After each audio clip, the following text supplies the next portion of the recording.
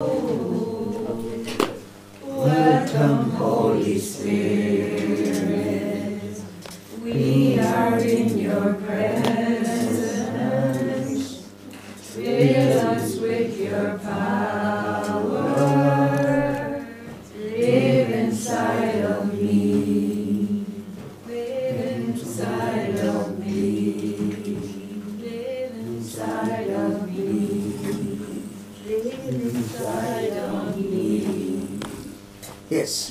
So we are nearing the last part of our this beautiful program. In fact, uh, a real charism workshop need at least five days, but then our difficulties we have made it uh, into three days. That is why uh, it is only a beginning now. It is sprouting. So we already planned for after two months next program. So I request all of you to make use of that so that by this time you already have some more practical experience in using these gifts. So with all that uh, practice, you can ask many doubts and other things. So then the next program you will have much more stronger. But anyway, to conclude our this session, one more. Uh, now I will give a short talk. Then we go for Holy Mass. Then in the Holy Mass you will have a powerful anointing of the Holy Spirit. And then when we come back after the Holy Mass, I will specially pray over every one of you to, to have more opening of the stirring of the flame. So now, as we were already singing this hymn, I could get a clue out of that. Sing that two lines again. Welcome, Holy Spirit. We are in your presence. Fill us with your power.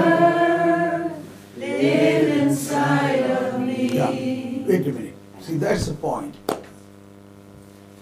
We know, we always pray, Holy Spirit, come, come, but He lives inside us. He lives inside us. He is not simply a power. He is the source of all gifts. he is the source of all the gifts. So our renewed understanding or more and more understanding of the Holy Spirit itself will uh, it, itself is needed. eh? You know, in the Catechism, it is written by a great saint, Saint Gregory of Nazianzus. He said, the whole Old Testament focused on God, God the Father. The whole New Testament focus on Jesus. But where is it focus on Holy Spirit? What is the plan of God of focus on Holy Spirit? Focus on Holy Spirit is done, by Holy Spirit Himself dwelling in us. so the revelation of Holy Spirit, there are no big teachings more than all the teachings, Holy Spirit Himself reveal in us, in us, in us. So now, coming to the working of the charism, the important three chapters of the St. Paul's letter is 1 Corinthians chapter 12, 13 and 14. So, as I said, they are known as sandwich chapters because chapter 12 is like a bread, chapter 14 is also like a bread. In between chapter 13 is the very sweet, either honey or jam or marmalade or cheese or butter, all those things. So that is about the love. Love.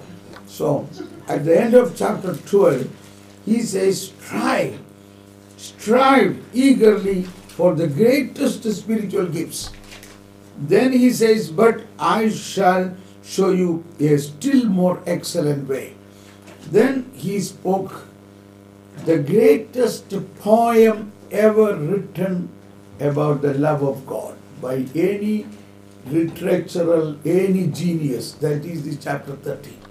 Nobody in the whole humanity, in the whole history, in the whole literature, or in the scripture, nowhere anybody has written such a poem like 1 Corinthians 13. You all know this. I am not going to read the whole thing, you must read it.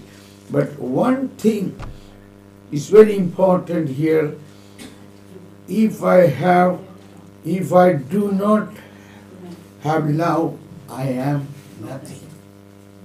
So we may have all the gifts, but if I do not have love, I am nothing.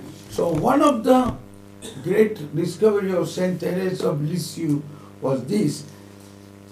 He says, if I don't have love, I am nothing. So I only want that love. that is what I am discovering. Anyway, for our practical purpose, why these charisms are already in us, but why it is not uh, blazing, why it is not flaring, why it is not working.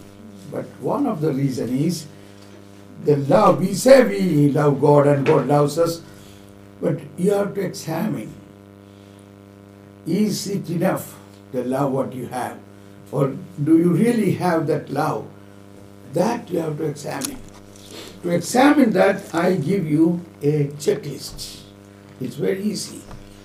In this chapter, in chapter 13, word 4 to word 4 to 8.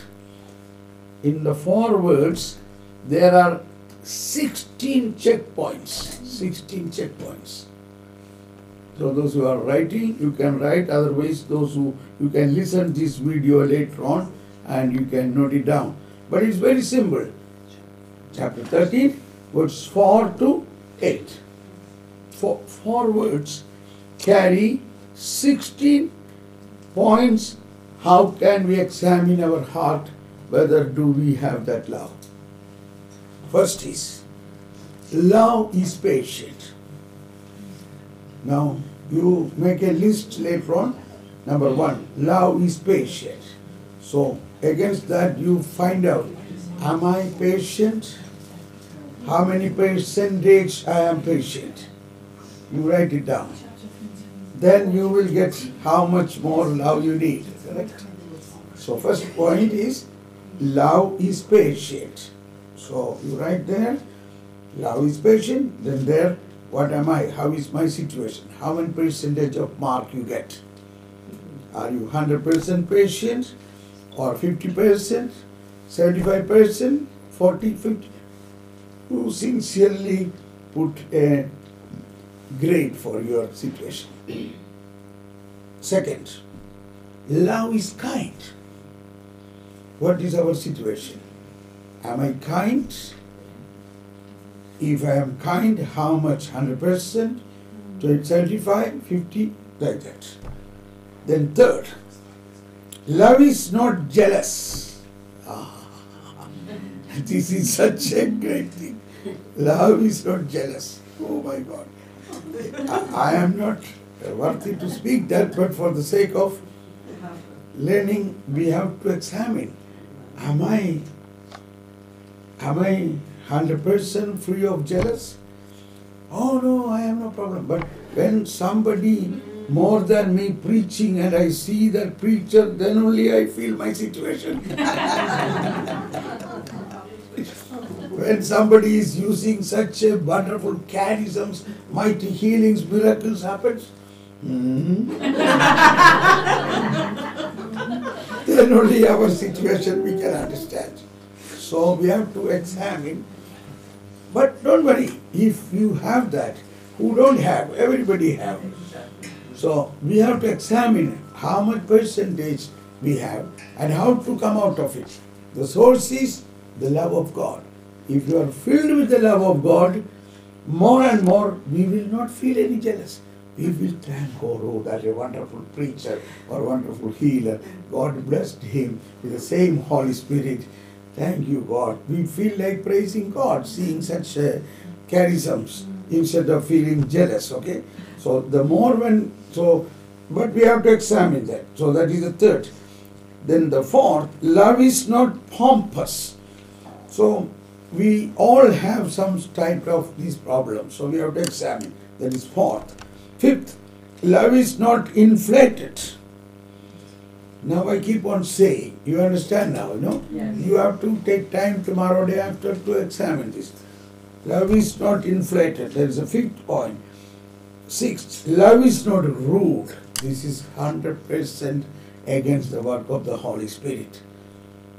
If we have a nature, rude nature, you know, not having compassion and charity. So that's very dangerous for the working of the. Then, seven, love does not seek its own interests. How is our situation? Are we seeking our own interest? So then, eight, uh, love is not quick tempered. this is a very dangerous. Love is not quick tempered. Do you have quick tempered? Quick tempered. Some people are quick tempered. Even those who are having so many charisms have quick tempered. I, I, I remember a person who is a very renowned person, but when he was on the stage, the mic system was not uh, working properly. He got angry, he threw that mic straight away. And so, that is, he could not control. And he blamed that operator and told him never again this man should be given the work of sound system. He must be sacked, things like that. So, in the public stage, such thing can happen if we are, if we are, if we are tempered. So that's very harmful for the working of the spirit of the charism. Very important. And all those who are taking fasting, you have to be very careful. When you do fasting, the first reaction will be you will become angry. That is uh, a way when you fast, many of our not good things will come up. Therefore, whoever doing the fasting first must pray inner prayer that you don't get angry during the fasting time. I remember a parish priest say, Oh, fasting is very good, but when we were in the seminary, our spiritual director was every Friday fasting, but that day we don't go near to him. because he could be very. anyway, uh, so this you have to trim these type of points, you have to sanctify to temper. Love does not brood over injury. Brood over injury. We should forget the past. We should not keep on brood over past injuries. We are the charismatics make so much of healing prayers. We have only the problem. Those who don't have all these things, they have no problem with the wounds. we keep on talking about the wounds, wounds, wounds, wounds, never ending. But the Lord has already taken over all our wounds. Amen. He has completed everything. You have to just believe it. Amen. He took all our injuries, our wounds on the cross, and He has shown, Look at my hands. It is now complete. I am risen. Mm-hmm. All the wounds I have taken over. So that is one thing. We should not keep on thinking about the past. You must believe the past Jesus has already taken over. Keep on thinking about the future. So, love does not brood over injury. Now, how many points? I don't know. Eight, maybe. We're on ten. Eh? Now, next is ten. Yeah. Now, eleven is it does not rejoice over wrongdoings. So we surely don't rejoice, but then sometimes some personality problem comes when somebody whom we do not like, when they have something wrong, we feel rejoicing. So that's wrong. Then love, but rejoice with the truth. When we see the truth, we should rejoice. That is now 12. Now 7. This is the most uh, important word. Love bears all things. Love bears all things. I remember I, in one of one of one of the girls in my team, uh, nobody is able to adjust with her.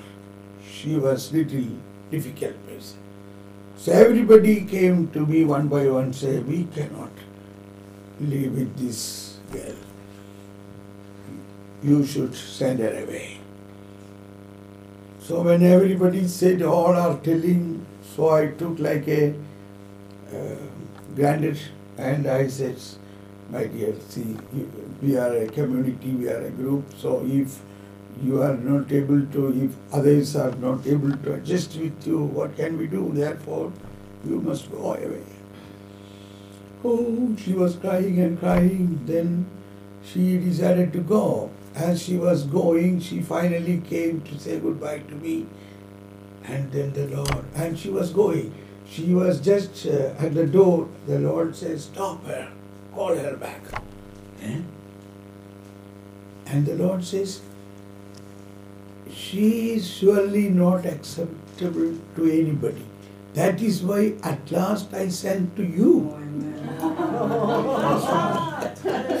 And even and even if you don't accept her, where can I send her?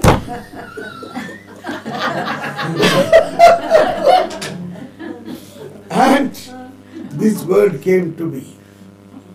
Love bears all things. Love bears all things. Love accepts all things.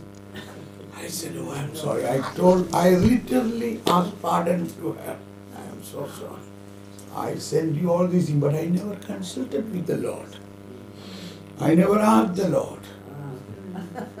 So anybody come and join to join in my team, I don't ask any of their history. I ask the Lord, Oh Lord, what do you want? Yes, take her, take him. That's all. I don't look about their past at all.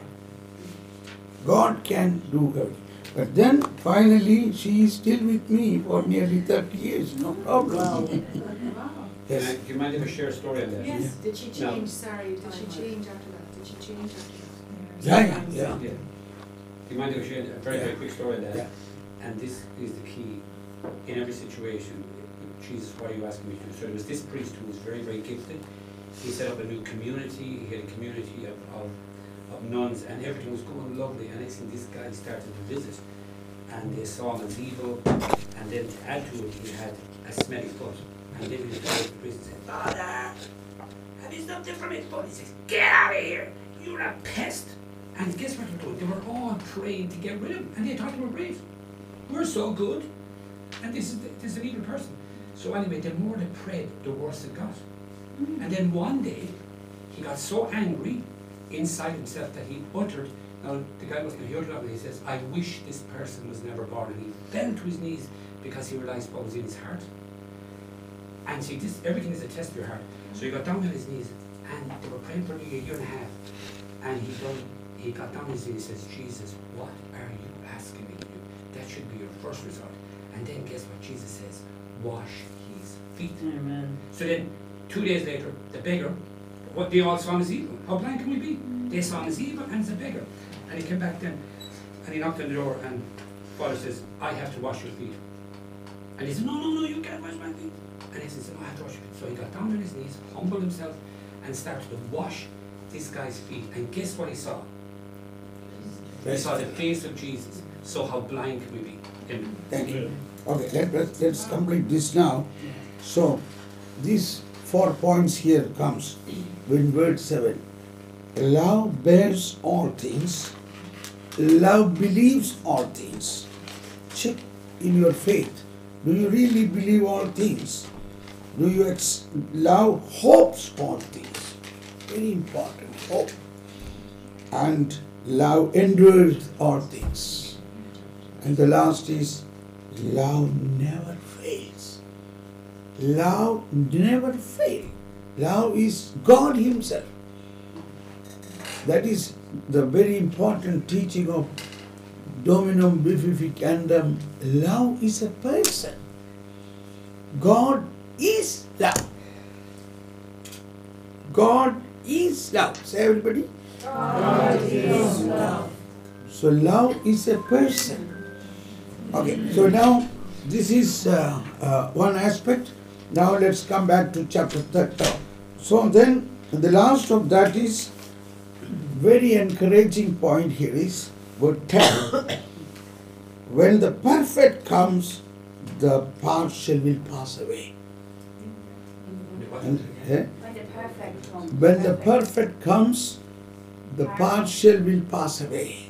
So that is, none of us are perfect, but the perfect will come. What is perfection? Perfection is faith, hope, and charity. Faith, hope, and charity. Faith, hope, and charity. That is, fill me, fill me, fill me. So this, I am telling you, it's very important. It's very important. Now I tell you one of my bad thing to tell how our how the gifts of the Holy Spirit can can can be blocked. I don't use that word block, but then it is not functioning. So it was such a situation, a big uh, retreat of priests and religious, maybe about 200 priests and 500 religious sisters. And at the end, the anointing prayer is going to happen, so in the it's a cathedral, a priest was appointed to to uh, to expose the monstrance. And so I came like a last moment because many priests were standing queue for counseling, etc. I finished one by one and I came running. Then I told the singing group, come on, come on, you start singing. Now the rest is going to come. So one girl said, no, I will not sing. She was not obeying me and she was a little angry with me and suddenly I become angry. Why? Why you don't sing? Okay, now you never sing. Come on, get out. Something like that I said, I don't remember. But I was so much anger. And then others began to sing. The father exposed the Eucharist. And now I am I must pray for the anointing. But anointing is not coming. I said, my dear friends, the five days retreat is over. Now you are all going to be filled with the Holy Spirit. Let us thirst for the anointing. I become like frozen, like frozen. Completely cold, absolutely no anointing. I said, What is this, Lord? And the Holy Spirit said, You are the reason. You are full of anger. How can I flow through you? What? I? Yeah, I know. I am the reason. But I never thought such, this anger can be so dangerous. So then I knelt down there uh, in the uh, altar, Eucharistic Lord. The priest is in front and sensing.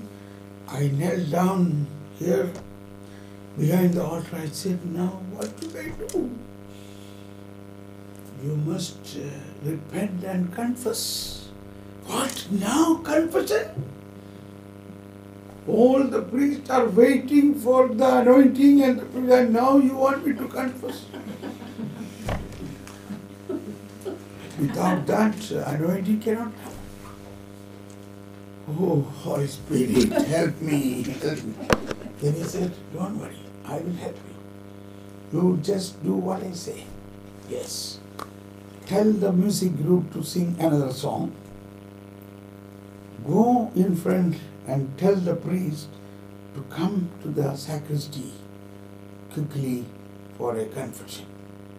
And by the time they sing the song, you will done your confession and come back. It will be done. Okay. So, in every situation, Holy Spirit is ready to help us, even is in our bad situation. So, I told them sing another song of Holy Spirit, I came in front of and asked tell the priest in his ears, please, please come into the sacristy. I need an urgent confession. Okay, okay. And he came. And I went to the sacristy first. I went to this girl and I asked, Pardon, forgive me, forgive me.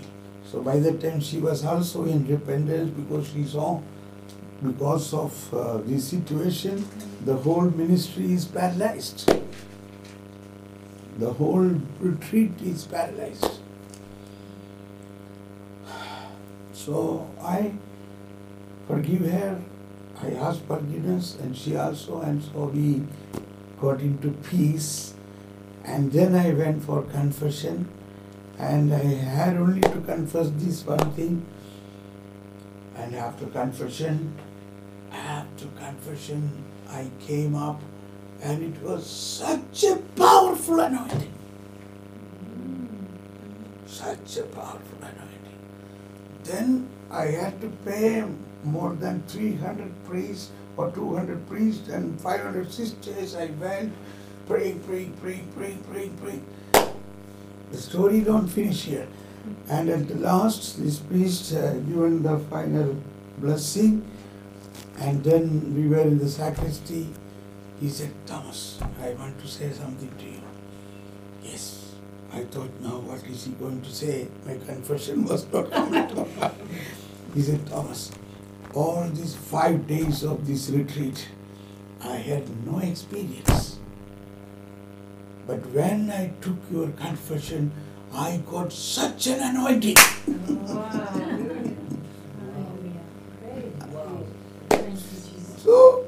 Ways are like that. Okay, so why I want to say this charisms and anointing are in us.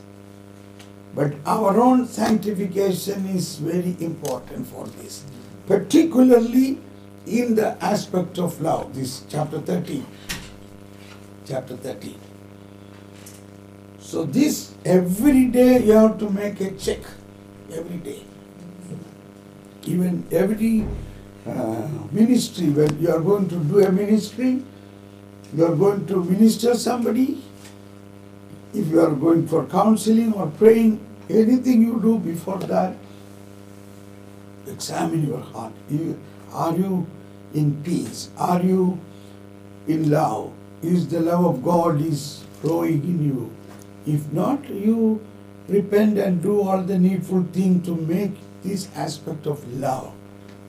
Otherwise, as St. Paul says, if you have no love, you are nothing.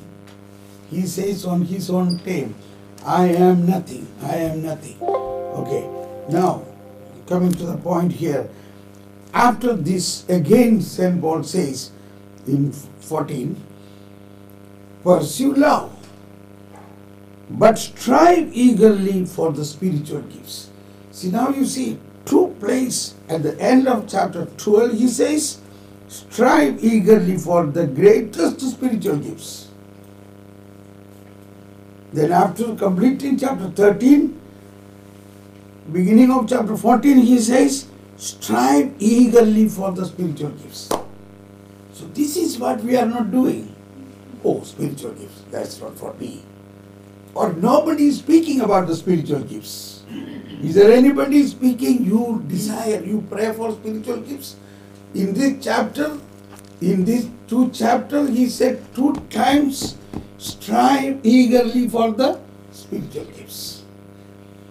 We may not be perfect, we may have so many bad things, but yet we should strive, we should desire. This Mr. Paul is a good example. He, on the first day, says, I don't get anything. Correct, Paul? And hearing that, what a disappointment. Came from far away for this program, nothing. But next day, next day you must hear his testimony. Who brought it? It was in him. It was in us. So if anybody who have not got anything done, don't uh, decide it is the end of it. What is a strive? You have to strive. You have to you have to strive. You have to pray. You have to recognize what area, which gift. Maybe even now there may be many other gifts hidden. So, so day by day, one after another, more and more gifts he will open. That, that is why Jesus said, Well done, you are who are faithful in little things, I will make you responsible for greater things.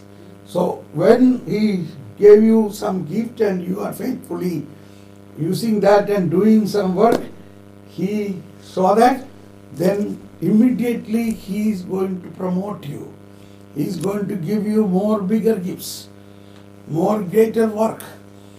So if any work you have to do, we need greater gifts. So that is why this is very important every day, Lord. Lord, open, open more charism, more charism, more charism, more anointing, more faith. The two things I every day pray is increase my faith and increase my wisdom. That's another point. Love is one thing, but love without wisdom is also a big, big problem. Love must always have wisdom. They are like two hands, you know. Okay, so in chapter 14, he says, strive eagerly for spiritual gifts. I think now we stop for the Holy Mass with a short prayer and we pray for those who are going to drive now far. So we will pray for them. Then uh, others will be prayed over later. So with this understanding, when we today going for the Holy Mass, in today's Holy Mass, the first reading is, I think, Book of Wisdom. So you think that Book of Wisdom, wisdom. Pray for more wisdom. And the second reading is about the Word of God is powerful, sharper than any double-edged sword. Okay. And then the Gospel is the rich man. I don't know whether they will be today Sunday, so they will say the same reading. yeah. The rich man came to Jesus and asking, "What should I do to eternal life?" So all this thing is very important. Eventually, this man, the Lord says, sell out everything and you have treasure in heaven. Then follow me. And then uh, others said, Oh, and he could not follow, so he went away. Then others were telling, Oh, if this is how the kingdom of God, how do we enter? Then Jesus said, What is impossible for man is possible through God. So let us think that if you feel any impossibility in you, don't end there. Holy Spirit, help us. Okay. So now come, Mary, Mary. And oh, yeah, those who are going, you please come. Now all of us together pray for those who are in need of prayer to go now. Where is other lady? Peggy. Yeah. You want Peggy? Ben's not going to go there. Come, come. Yeah, Peggy. Wait come. Oh, Praise you, Jesus. Come on, let us pray. Praise you, Lord. Hallelujah. Hallelujah. Let us pray. Spirit of the living God, fall afresh on us. Spirit of the living God, fall afresh on us.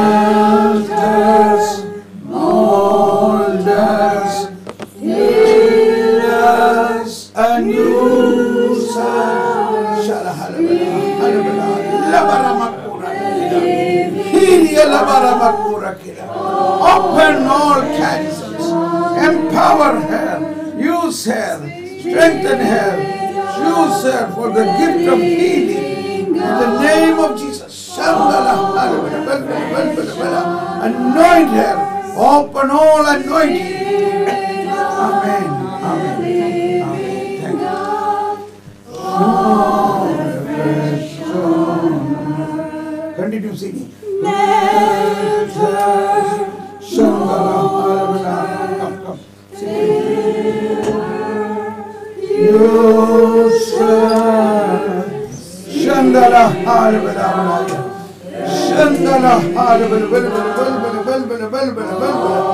Oh, Holy Spirit, empower us. Strive for higher gifts. Gift of healing, gift of healing, gift of prophecy, gift of preaching, gift of singing. Shalabarakira Makura. Shalabarakira Makura. I anoint you with the mighty anointing. May the anointing pour out through you to millions of people. You are a prophetess for this country. You are a prophetess for my kingdom. You are a prophetess. You prophecy. You prophecy. I will do according to your prophecy. I will work on your prophecy. I will do my word I put in your mouth. Shalakara makara. Shalakara makara. Amen. Amen.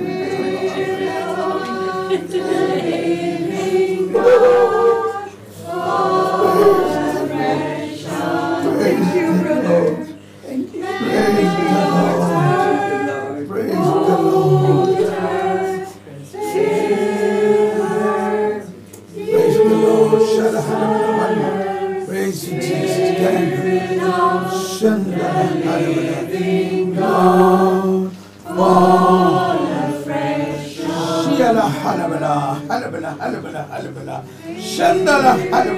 Laburakira. My beloved daughter, do not be desperate. I have chosen you. I have chosen you. I have chosen you to be a light for nations. Be a light for nations. I have given you many, many, many charisms. Sharakira barahala makura. Strive. Sharabakala makara. Be. In the name of Jesus. Shalabarahula makara. My beloved child, I bless you. I bless you. I bless you. Amen. Amen. Amen. Amen. Praise the Lord. Praise the Lord. Praise the Lord.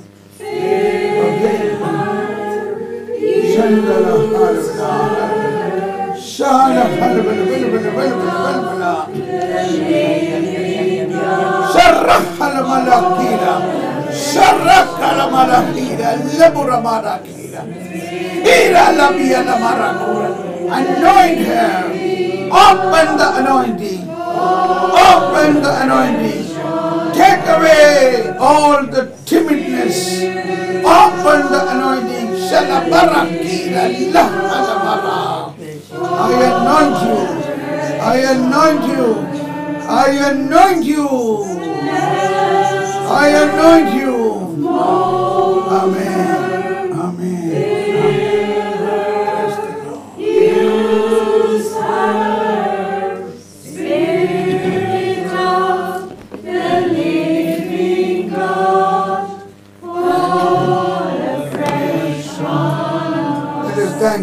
Hallelujah. Hallelujah. Hallelujah. Thank you, Jesus. Praise you, Jesus. Praise you, Jesus. Thank you, Lord. Yeah, before you go for Holy Mass, a quick, quick idea. In the Holy Mass, the seven mysteries of Jesus' life is reenacted. Seven mysteries are Jesus' incarnation, his baptism, his uh, public proclamation, passion, and death for resurrection 5, ascension 6, Pentecost 7. Now, see, in the first incarnation is the mystery when we sing Gloria. So, when we sing Gloria, believe it is the moment of the incarnation is happening at that moment.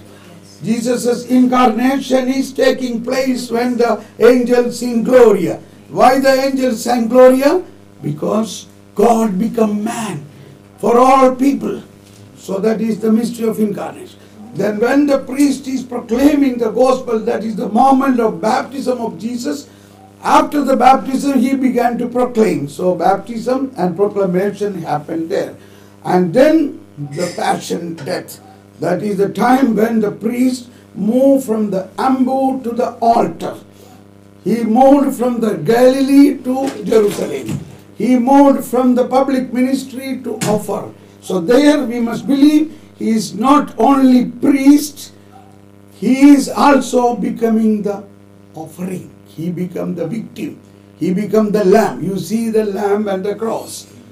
Who is on the lamb? Who is the lamb? Jesus himself. But he himself is the priest. So when you see today, you remember the priest is Christ and Christ himself is the lamb.